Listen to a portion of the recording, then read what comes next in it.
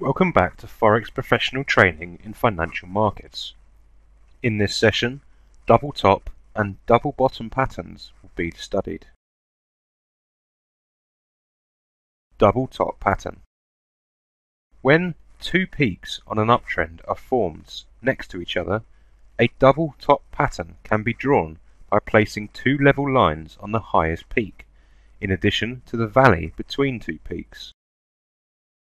The height of peaks can be equal or different, while their forming time may differ. Neckline, known as confirmation line, must be a level line that specifies the breakout point where an order can be placed by a trader. The valley between two peaks must not pass the 38.2% of the Fibonacci pattern, which should be drawn from the beginning point of the trend to the peak of the first wave. H is the distance between the peak and the most elevated wave and neckline, which must be a vertical line. TP price would be H pips away from the breakout point, while SL price is above the peak of a second wave. Double bottom pattern. On a downward trend, a double bottom pattern is formed by two consecutive valleys with different or the same height and width.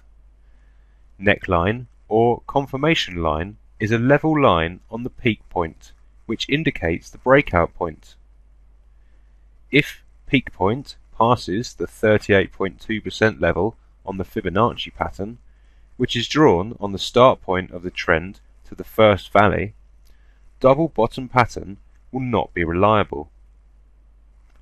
H is the vertical distance between the bottom of the longest valley and neckline. TP price is H pip away from the breakout point, while SL price is lower than the second valley.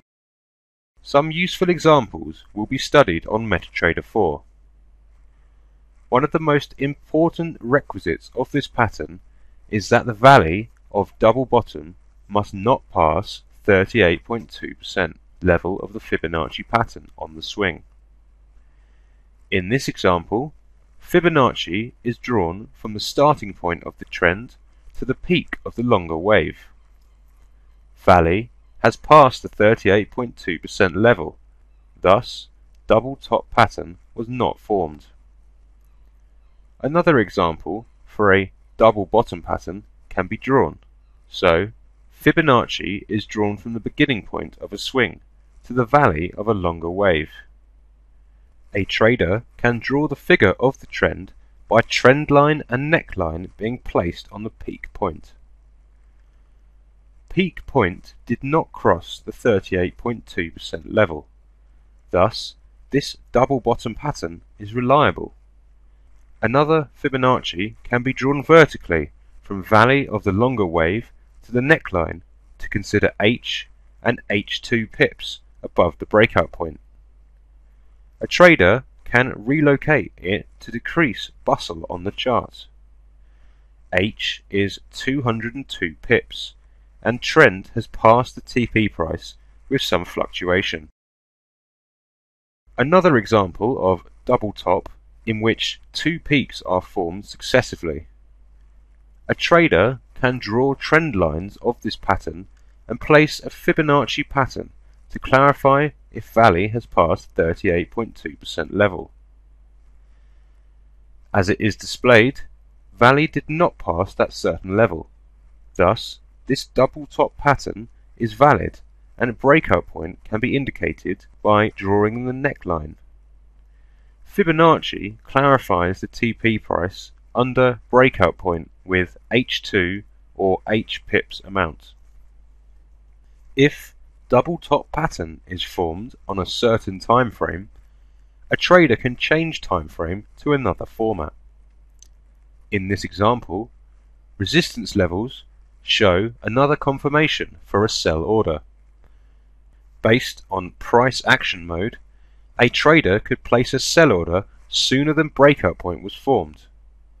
There are several declines after price had met the resistance level on D1 timeframe.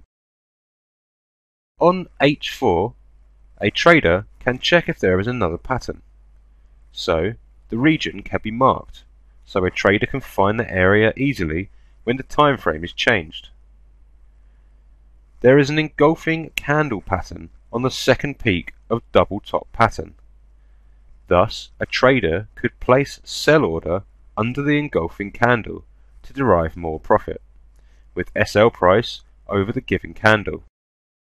When market price met the breakout point, a trader could achieve more than 90 pips profit. SL would be around 70 pips, while TP would be 261 pips. Thus, reward to risk amount was around four times higher. It would be more lucrative to identify the trend direction through various patterns, especially when a candle pattern has formed on a double top pattern. That concludes this session. Until next time and another session, take care.